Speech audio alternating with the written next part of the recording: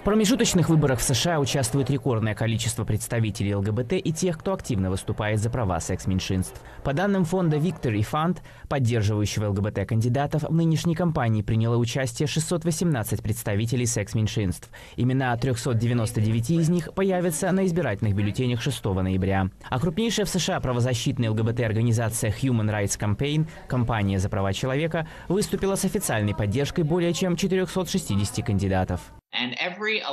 На каждых выборах мы поддерживаем кандидатов, которые выступают за права ЛГБТ, и мы продолжаем поддерживать их после того, как они занимают места в собраниях штата, городских собраниях и в Конгрессе. Многие из этих кандидатов – представители ЛГБТ, однако большинство – это наши союзники, которые поддержат нас, проголосуют за антидискриминационное законодательство. Именно таким образом мы добились изменений в пользу ЛГБТ за последние пару десятилетий. На выборах сенаторов Конгресса штата Аризона почти равные шансы на победу имеют республиканка Марта Максали и демократ Кирстен Синема. В 98 случаях Марта поддерживает инициативы своей партии и президента, что, по моему мнению, демонстрирует тот факт, что она не желает работать на благо Аризоны.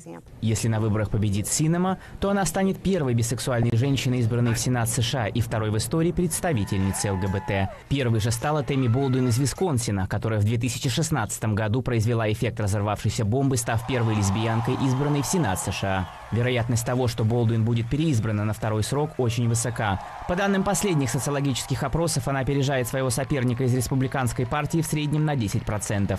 Свой политический вес в поддержку Болдуин бросили и экс-президент Барак Обама, и бывший вице-президент Джо Байден. На второй срок переизбирается и губернатор штата Орегон Кейт Браун, которая в 2015 году стала первым губернатором-бисексуалом в США. В вопросах Браун опережает своего оппонента Нута Буллера на 4%. Без сомнений, избрание Дональда Трампа побудило многих людей к действию, послужило напоминанием того, что нам нужно проделать еще много работы. Показало нам, насколько прогресс является бесценным, насколько предрассудки и предубеждения по-прежнему широко распространены, особенно в политике. Пристальное внимание приковано к предвыборной гонке в Нью-Гемпшире. Там, по данным последних опросов, в лидерах на пост конгрессмена является предприниматель Крис Папас. Ажиотаж вокруг его компании вызван тем, что Папас является открытым геем, а в его компании принимает активное участие актер Алек Болдуин. В соседнем с Нью-Гемпширом штате Вермонте в губернаторы баллотируется трансгендер Кристен Холквист, а Джеред Полис из Колорадо вполне может стать первым в истории открытым геем-губернатором.